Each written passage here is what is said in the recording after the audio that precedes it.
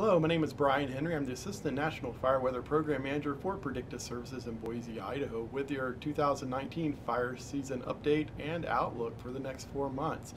Looking at April, we're finding ourselves transitioning nicely out of winter into spring. We're getting a full green up across the west, and that green up should continue to fruition as we get towards May and June when the fine fuels begin to cure out.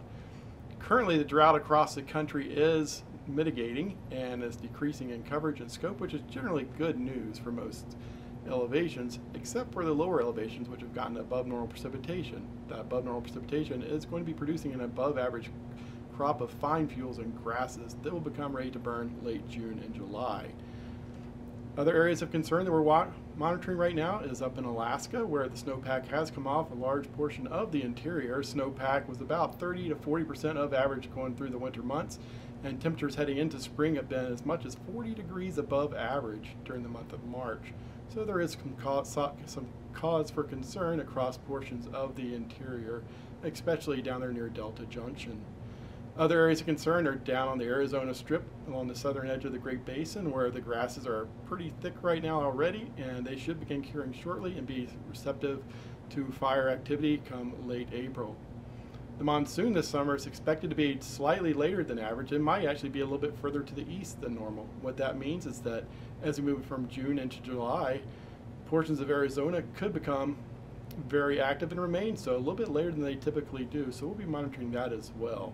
Meanwhile, in the higher elevations, snowpack across the Great Basin in California has been well above average. In fact, across portions of the Sierra in California, snowpack is more than 200% of the average.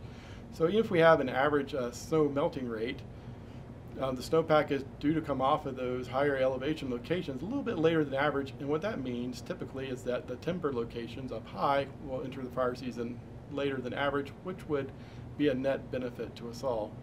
One last area that we're monitoring right now is Washington State, and then other areas up along the Canadian border across northern Idaho and Montana, where drought conditions do remain, and it is slightly intensifying there. Conditions over the past several months have been drier than average, and the soil moistures are also reflecting very dry conditions as well.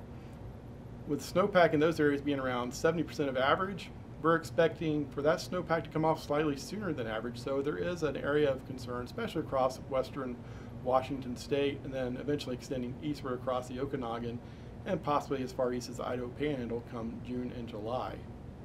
So fire season 2019 is shaping up to be an active fire season across the West and Alaska, albeit maybe not quite as active as previous seasons that we have seen.